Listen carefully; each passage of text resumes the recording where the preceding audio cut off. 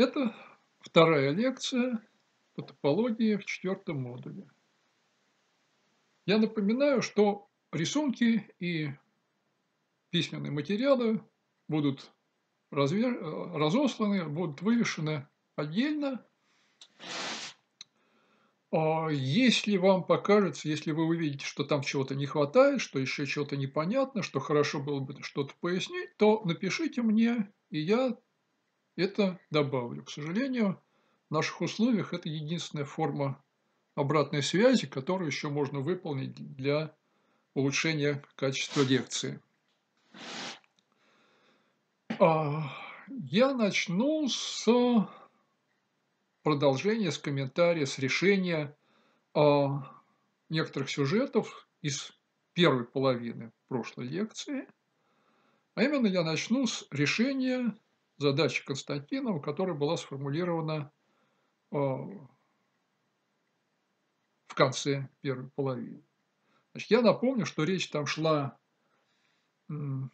про машины, про, про то, что значит, есть два города, соединенные двумя дорогами, а, и а, между ними по этим двум дорогам едут две машины. В одном случае они идут одновременно из одного города во второй, в другом случае они идут одна из первого города во второй, другая одновременно идет из второго города в первый.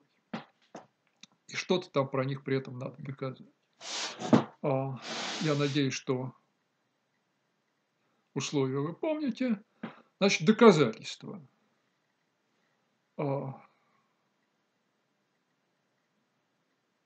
Доказательство решения стоит вот в чем. А, надо рассмотреть всю эту ситуацию, изобразить эту ситуацию таким образом. Мы рассматриваем прямоугольник. Прямоугольник – это произведение двух отрезков, которые символизируют две наши дороги. Точки этих отрезков, которые перемножаются, это точки наших двух дорог. Точка прямоугольника – это одновременное положение точки на одной дороге и на другой дороге. Тогда подумаем, что такое одновременное движение машин из одного города в другой, из первого города в другой, одновременно по этим двум дорогам. Его можно изобразить как линию, ведущую из, скажем, нижнего левого угла этого прямоугольника в верхний правый угол каждый момент, значит, это непрерывная линия, в каждый момент а, положение этих двух машин изображается парой точек на одном отрезке на другом отрезке, то есть точкой внутри прямоугольника. И так имеется непрерывная линия, ведущая из а, левого нижнего угла в правый верхний. Вот. А что такое движение тех же самых машин по встречному направлению. Одна движется по первой дороге из первого города во второй, другая движется из второго города в первый по второй дороге. Это такой же путь, который, однако же, э, связывает левый верхний угол с правым нижним. Понятно, впрочем, это требует некоторого строгого доказательства, но, в общем-то, понятно, что и, да, и, и этим доказательством мы а, эти такие доказательства мы научимся проводить, но, в общем, понятно, что эти два пути должны пересечься. Что такое пересечение этих двух путей? Что такое? В чем, о чем говорит тот факт, что эти два пути пересеклись? Это значит, что при одном движении, при другом движении возникнут просто одинаковые ситуации. Одинаковые ситуации, в которых положения машин на двух дорогах будут одинаковые, как при одном движении, так и при другом движении. Ну, положение. Вот. Но если вспомнить, что, треб... что спрашивалась задача, то это а, дает отрицательный ответ на вопрос, потому что если у нас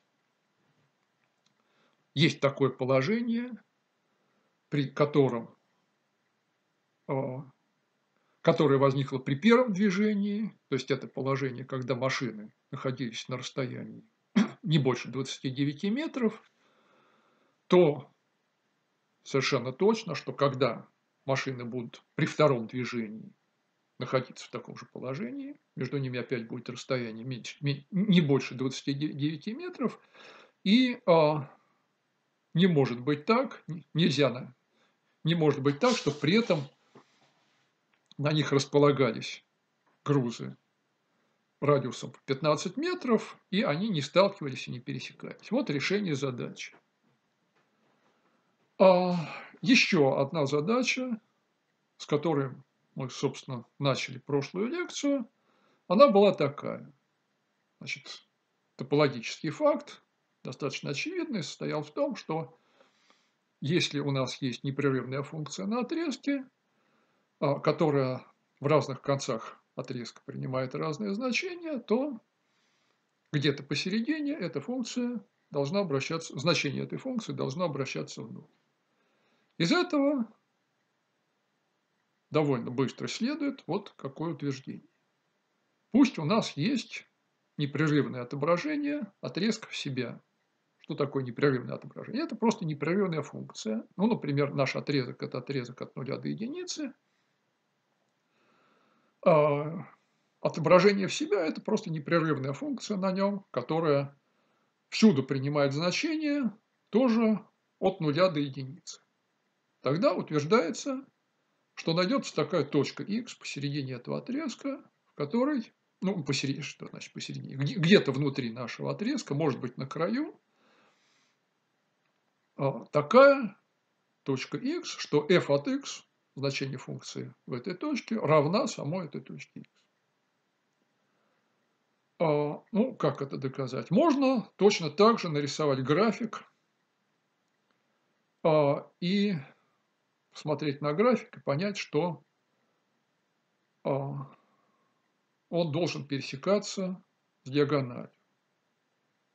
В чем состоит факт, что f от x равно x. Это мы берем квадрат. Произведение отрезка 0,1 на себя, проводим в нем диагональ, ведущую из точки 0,0 в точку 1,1.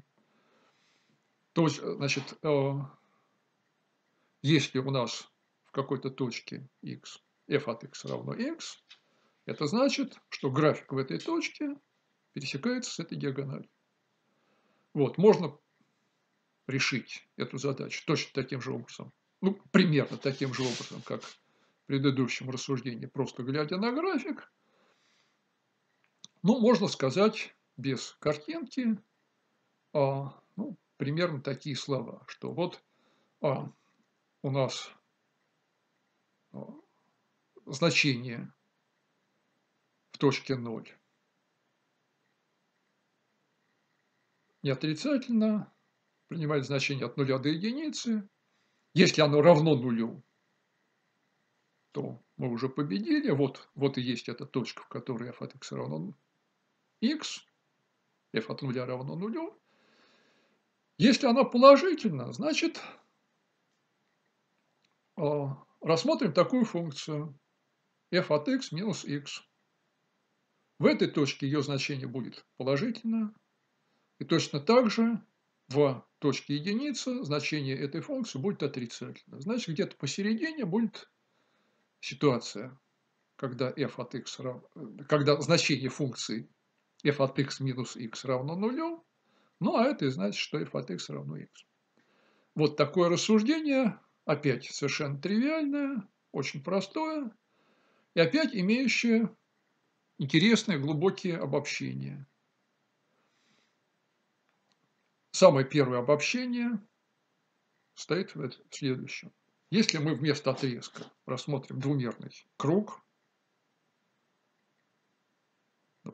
например, круг на плоскости, и рассмотрим его непрерывное отображение себя. Непрерыв... Ну, мы знаем, что круг является метрическим пространством, там на нем можно ввести стандартную метрику, любую из метрик, неважно какую, любую из эквивалентных между собой метрик – Тогда понятно, что такое непрерывное отображение этого круга в себя. Утверждается, что при, при таком отображении, если оно непрерывно, найдется такая точка, на краю или внутри, которая отобразится сама в себя. Ну и то же самое, конечно, можно сказать про любое, но про отображение в себе любого множества топологически эквивалентного кругу, то есть гомеоморфного кругу, ну, например, квадрата, квадрата с внутренностью, или треугольник с внутренностью. Любого выпуклого многоугольника, берем любой выпуклый многоугольник на плоскости, отображаем его внутрь себя, обязательно найдется точка, а, которая перейдет в себя. Можно рассмотреть не плоскую задачу, а многомерную. Точно так же, если мы возьмем, например, шар в трехмерном пространстве, будем отображать его в себя. И вообще любое выпуклое множество в любом может быть многомерном пространстве, которое отображается в себя. При таком отображении обязательно найдется такая точка его, которая перейдет в себя. Это фундаментальный факт, который имеет множество приложений – и мы более-менее научимся доказывать такие факты.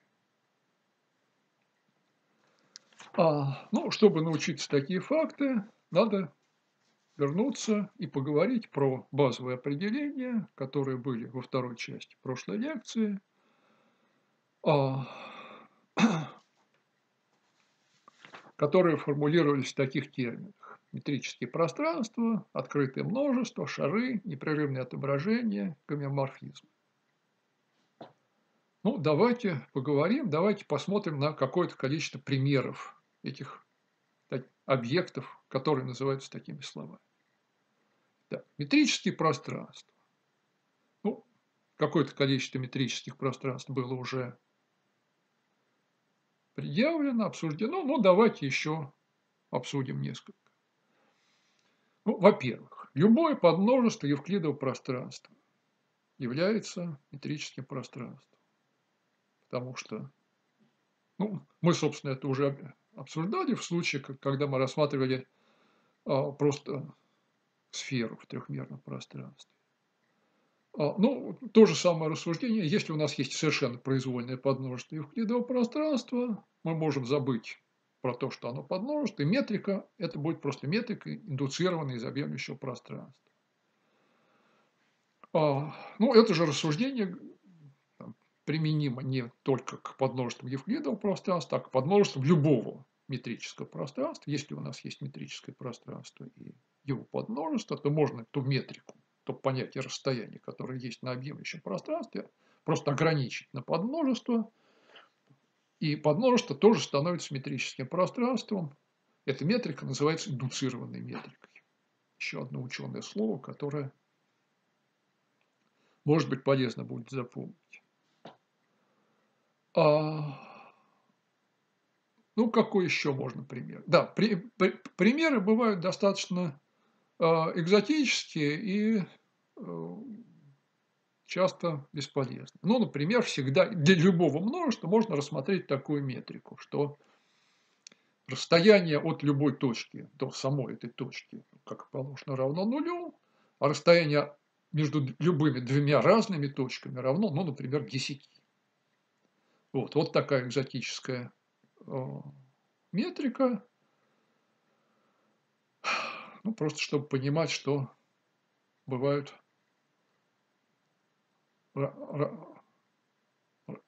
разные а, экзотические ситуации. Значит, следующее. Пусть у нас граф. Давайте вернемся к нашему любимому примеру, графу, но будем его рассматривать не как абстрактный алгебраический объект, состоящий из множества вершин и множества ребер, которые являются просто парами вершин, будем рассматривать его как геометрический объект, то есть ребра теперь это уже экземпляры отрезка. И вот мы рассматриваем набор э, вершин, набор отрезков, которые их соединяют. Но, правда, они лежат в каком-то таком... Там, а, они, вообще говоря, ни, ни, ни, нигде не лежат. Вот они. А тогда на этом графе можно определить, ну, там имеется стандартная метрика графа, которая э, строится таким образом. Любой, любое ребро графа отождествляется с отрезком длины единицы. И расстояние между точками, между, между какими-то точками этого отрезка, ну вот, вот мы смотрим, какие, с, какими точками отрезка от нуля до единицы они отождествлены, и берем модуль разности этих а, соответствующих чисел. А, расстояние между двумя концами одного отрезка считается равным единице, естественно. Расстояние между двумя вершинами равно наименьшему числу отрезков, которые их соединяют. Да, конечно, эту задачу разумно рассматривать только для связанных графов. Если граф не связан, то ну, задача получается неинтересна. Значит, граф связанный, вот у нас есть две вершины, расстояние между двумя вершинами равно количеству, наименьшему количеству ребер, которые их соединяют. Ну, из этих двух фактов уже можно вывести, как должно выглядеть расстояние между любыми двумя точками, уже не обязательно вершинами, пусть у нас есть какие-то две точки, например, две внутренние точки каких-то разных отрезков, э, двух разных ребер, как должно выглядеть, э, как определяется расстояние между ними. Ну, берем одну из этих точек. Значит, берем расстояние от нее до одного конца, берем расстояние до другого конца. А, ну и также поступаем Э, с, со второй точкой. И у нас получается 4 таких числа. Значит, э, расстояние от первой точки до одного конца соответствующего отрезка, расстояние от второй точки до первого конца соответствующего ей отрезка, соответствующего ей ребра, Плюс расстояние между этими вершинами, которые мы уже знаем. Вот получилось какое-то число, состоящее из этих трех чисел. Берем такие числа, такие суммы по всем четырем выборам концов этих отрезков, берем из них наименьшее. Вот это стандартная метрика на графе. Но, конечно, бывают задачи, очень часто возникают задачи разумные, когда на графе нужно вводить другую метрику. Например, можно граф, граф может возникнуть как карта дорог какой-нибудь области, например, какой-нибудь страны, в котором вершины – это населенные пункты или перекрестки, а, а ребра – это дороги. Тогда дороги могут быть разной длины, разного качества. И качестве метрики можно брать а, длину или количество бензина, которое надо потратить на прохождение этой дороги. Или если дорога платная, сколько надо заплатить а, за прохождение этой дороги. Ну, вот такие есть примеры. И тогда метрики будут получаться другие. Ну, вот, вот это еще большой пример метрических пространств. А,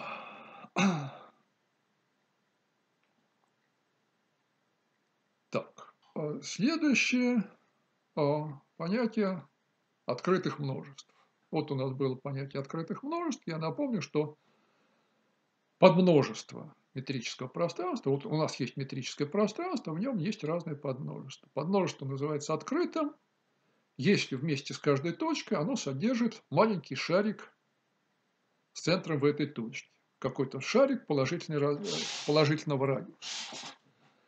А что тут надо а, заметить это вот что, что понятие открытого множества является относительным.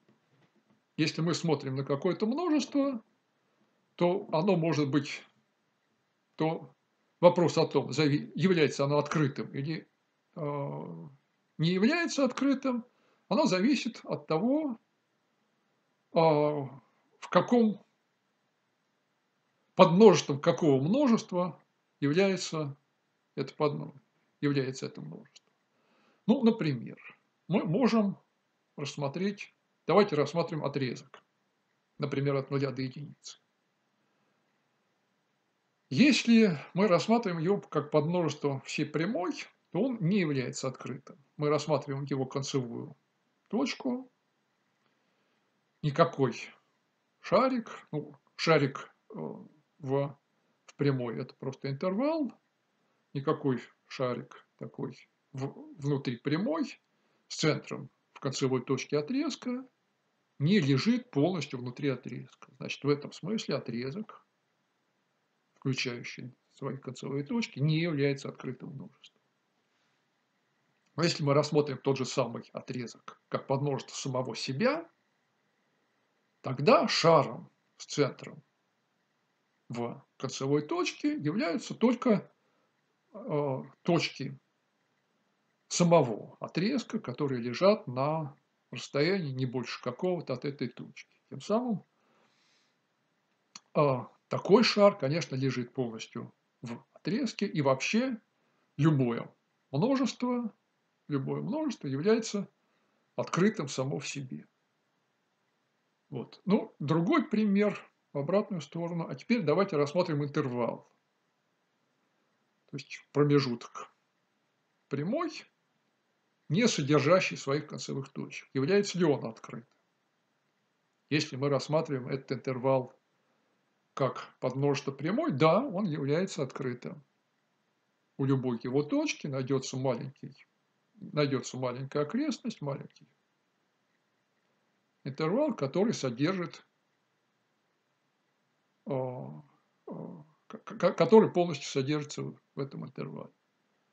Но если мы рассмотрим этот же самый интервал как подмножество плоскости, то нет, у любой внутренней точки, какой бы мы маленький кружок в этой плоскости не взяли вокруг этой точки, он, конечно, не поместится внутри этого интервала, значит, в этом смысле интервал не будет открытым. То есть тут важно то, что понятие открытости является относительным. Оно зависит от того, в чем лежит наше подмножество. Подно... Как подмножество чего мы его рассматриваем. Ну, еще важное слово, которое тут надо произнести, а это слово замкнутое. Значит, если у нас есть множество, в нем есть открытое множество, которое мы определили, дополнение к открытому множеству называется замкнутым. А, ну, давайте я уже замечу на всякий случай, что бывают множества, которые не являются ни открытыми, ни замкнутыми. Например, ну, например, если мы рассмотрим прямую и в нем э, прямую и в ней множество, например, рациональных точек, рациональных чисел не является ни открытым, ни замкнутым. Или множество иррациональных точек иррациональных чисел тоже не является ни открытым, ни замкнутым. Непрерывность. Ну, понятие непрерывности я понятие непрерывного отображения одного метрического пространства в другое. Вот оно было сформулировано, его только надо вспомнить. Давайте я вам дам задачу на продумывание, она состоит вот в чем. Мы формулировали понятие непрерывности в терминах шариков. Можно его переформулировать, не обращаясь к шарикам, а можно сказать так. Отображение одного метрического пространства в другое является непрерывным тогда и только тогда, когда полный прообраз любого открытого множества является открытым. Полный прообраз, ну, понятно, что это такое. Пусть у нас есть какое-то множество в том, значит, вот мы, мы рассматриваем то метрическое пространство, в которое мы отображаем, берем там какое-то подмножество, полный его прообраз – это множество всех точек которые при нашем отображении переходят внутрь, переходят в, этом, в точке этого множества. А, ну, еще важно пожалуй, продумать такие вещи. Что, у нас, что, что мы можем сказать про открытое множество и замкнутое множество, как они себя ведут при логических, при теоретико множественных операциях. Ну, легко понять такие вещи. Пусть у нас есть два открытых множества. Тогда их пересечение снова является открытым множеством. И вообще пересечение любого конечного числа открытых множеств является открытым множеством. Ну, это очень просто понять, потому что если а, у нас есть какая-то точка, она принадлежит всем этим открытым множествам, она принадлежит пересечению этих открытых множеств, а, значит, а, найдутся шарики каких-то радиусов с центром в этой точке, которые лежат а, в этом пересечении. Да. Ну и надо просто взять наименьший из этих радиусов, тогда шарик с самым меньшим радиусом будет лежать в каждом из этих множеств. Вот. А, ну, другое, еще более, пожалуй, очевидное утверждение состоит в том, что любое объединение открытых множеств является открытым множеством. Тоже очевидный факт, но его часто бывает полезно помнить. А, гомеоморфизм. Ну, давайте посмотрим а, на примеры когда это свойство выполнено, когда не выполнено. Например, любые два интервала прямой гомеоморфны между собой. Они получаются друг из друга, ну, например, гомотеки. Любой интервал прямой гомеоморфен всей прямой.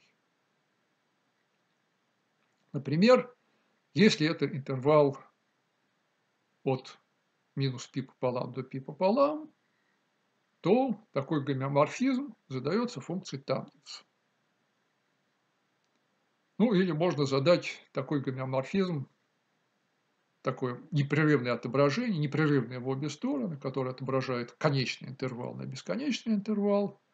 Можно его задать функцией тангенс, можно задать его какой-то рациональной функцией. Например, а, если мы возьмем функцию ну, например, x делить на x квадрат минус 1, то она задаст, как, как легко понять, а, гомеоморфизм интервала от минус единицы до единицы на, опять-таки, всю прямую. А, ну, похожим образом, если мы возьмем открытый круг, открытый диск на плоскости. Этот открытый диск гомеоморфен всей плоскости. Его можно вот так вот непрерыв, вот так же, как конечный интервал функции тангенс растягивался на всю плоскость, точно так же можно э, открытый круг растянуть на э, точно так же, как э, интервал растягивался на всю прямую, точно так же открытый круг можно растянуть а, на всю плоскость. Или внутренность шара, открытый шар, можно растянуть на все трехмерное пространство. Вот это примеры гомеоморфных, гомеоморфных множеств, гомеоморфных метрических пространств. Одна из основных задач топологии состоит в том, чтобы научиться различать гомеоморфные или негомеоморфные наши пространства у нас есть два пространства, мы должны понять, гомеоморфны они или нет между собой. А, ну, самый простой, пожалуй, вариант гомеоморфизма, который умеет различать, а, это число компонент связности. Например, число компонент линейной связности. Что это такое? Пусть у нас есть множество, метрическое пространство. Оно называется линейно связанным, если для любых его двух точек найдется непрерывное отображение отрезка в это множество, то есть просто путь, ведущий из одной из этих точек в другую, непрерывное отображение отрезков в это множество, которое начало этого отрезка, то есть начало пути переводит в одну из этих точек, а конец переводит в другую. Вот. А, значит, если у нас множество не связано, если оно состоит из нескольких кусков, ну, тогда вот оно разбивается на несколько кусков, которые называются компонентами линейной связности. Каждый из этих кусков связан, а друг с другом они не связаны. Из одного из них перейти в другой нельзя. Например, объединение двух не пересекающихся или десяти не пересекающихся отрезков а и на прямой, ну вот, вот это пример десятка. А, э, э, э, это множество, состоящее из десятка а, связанных компонентов. Конечно, оно не гомеоморфно никакому множеству, состоящему из 11 компонент линейной связности. Но это, это пример слишком очевидный. Давайте подумаем про менее очевидный пример. Ну, а, простейший следующий вопрос такой. Вот рассмотрим на прямой открытый интервал и отрезок. То есть тот же самый интервал, но к которому добавлены два его конца. Они будут между собой гомеоморфны или нет? Ну, легко понять, что они не гомеоморфны друг другу. Почему? Потому что, ну, допустим, между ними есть гомеоморфизм. То есть взаимно однозначное отображение и взаимно непрерывное отображение из отрезка в интервал. Но у отрезка есть, например, правый конец. При этом гомеоморфизм он куда-то должен перейти. Он перейдет внутрь интервала, в какую-то точку интервала. Но эта точка интервала делит интервал на две части, которые уже между собой не связаны. И вот оставшаяся часть отрезка должна отображаться в объединении этих двух кусков, покрывать все их точки и при этом не пересекать ту точку, которую мы уже отметили, ту точку, в которую перешла э, концевая точка, с которой мы начали. Ну, понятно, что этого не может быть, потому что иначе бы мы получили, опять-таки, что а, то множество, состоящее уже из двух компонентов, на которые эта точка разбилась, э, на которые эта точка разбила интервал, гомеоморфно множеству, состоящему из одной компоненты, которая э, есть тот отрезок, из которого тоже выброшена эта кольцевая точка. Этого не может быть, значит, интервал отрезку не гомеоморфен. Ну, есть множество других соображений, и я надеюсь, что все-таки у нас начнутся регулярные семинарские занятия, на которых мы будем рассматривать и учиться доказывать другие утверждения о негомеоморфности. Ну, в частности, значительная часть домашних заданий будет этому посвящена. А,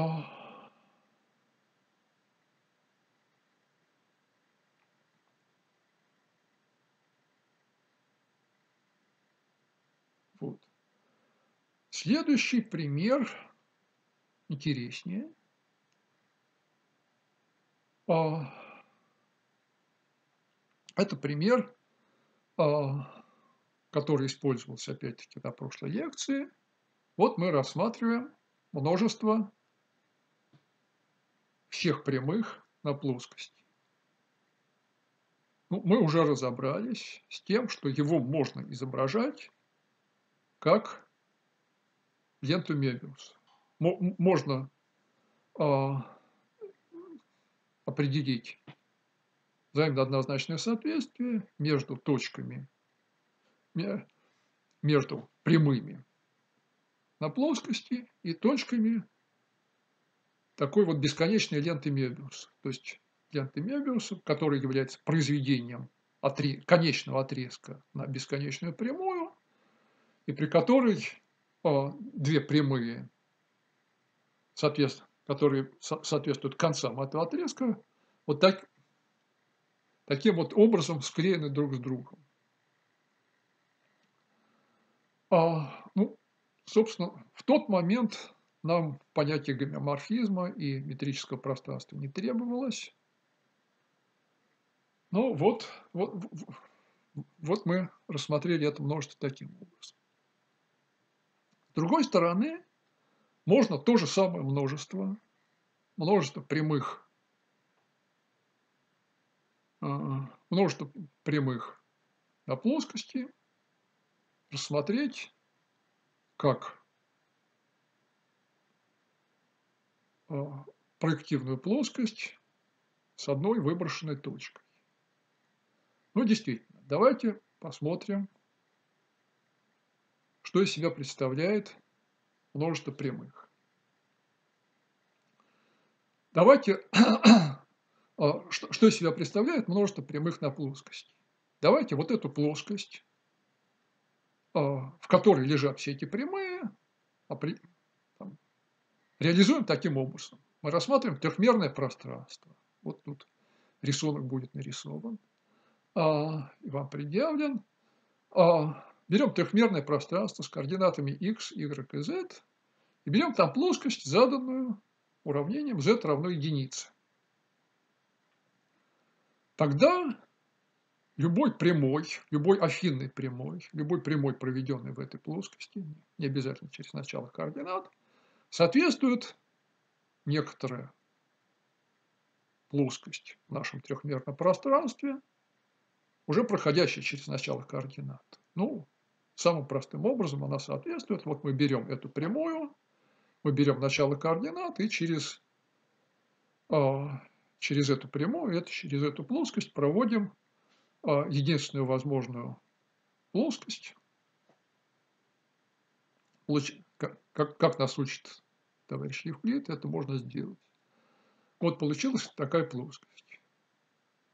Ну, плоскость множество всех плоскостей в Евклидовом пространстве, э, в, в трехмерном пространстве, множество всех плоскостей, проходящих через начало координат, оно находится в взаимно однозначном соответствии с множеством прямых в том же самом трехмерном пространстве. То, тоже с множеством прямых, проходящих через начало координат. А именно это взаимно однозначное соответствие – это просто а, ортогональное дополнение. Каждой плоскости можно составить, проходящей через начало координат, можно поставить в соответствие ее ортогональное дополнение, то есть прямую, которая ей перпендикулярна. И все прямые, каждый, если две прямые в плоскости z равно единице были разными, то им будут соответствовать две разные прямые в нашем пространстве. При этом получится почти все прямые нашего пространства, за исключением только одной прямой, а именно прямой, которая соответствует оси z. Потому что ей соответствует ортогональная к ней плоскость – это плоскость z равно нулю, которая никак не пересекается с нашей плоскостью z равно единице. Таким образом, множество прямых в трехмерном пространстве, а, множество прямых плоскости, это все равно, что проективная плоскость без одной точки. Но на проективной плоскости мы знаем, какая там метрика. Мы ее определяли в прошлый раз. Потому что мы знаем, что такое метрика, какая метрика у нас на сфере. Из этой метрики на сфере можно сделать метрику на проективной плоскости. Мы это делаем. Ну, вот, вот возникает у нас такая задача. У нас есть лента Мебиуса. Довольно понятно, как на ней определить метрику, как из нее сделать метрическое пространство. Правда, про это тоже надо подумать, но я надеюсь, что вот про это мы все-таки поговорим на семинарских занятиях, когда у нас, они у нас пойдут в регулярном режиме. На деньги Мебиуса есть метрика, на проективной плоскости есть метрика. Ну, раз есть на проективной плоскости метрика, значит, на проективной плоскости, в которой выброшена одна точка, тоже есть метрика. Но то и другое являются изображениями одного и того же множества. А именно множество прямых, множество прямых на плоскости. Вот, а, значит, у нас получилось взаимно однозначное соответствие между этими двумя множествами. Лентой Мебиуса и проективным пространством, и проективной плоскостью, с которой выброшена одна точка. Это два метрических пространства, на них есть метрики. Значит, надо понять, вот это отображение, это взаимно однозначное соответствие, которое между ними получилось, оно является гомеоморфизмом или нет. Вот на этом вопросе я заканчиваю первую половину этой лекции.